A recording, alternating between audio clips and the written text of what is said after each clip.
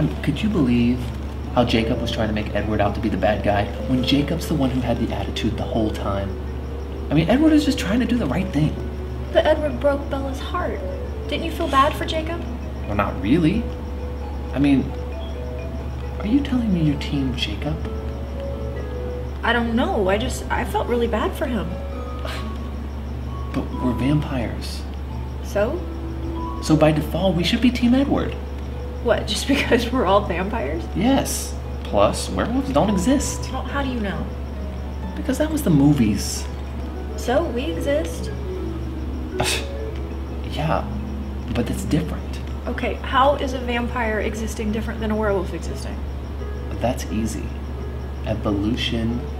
Duh.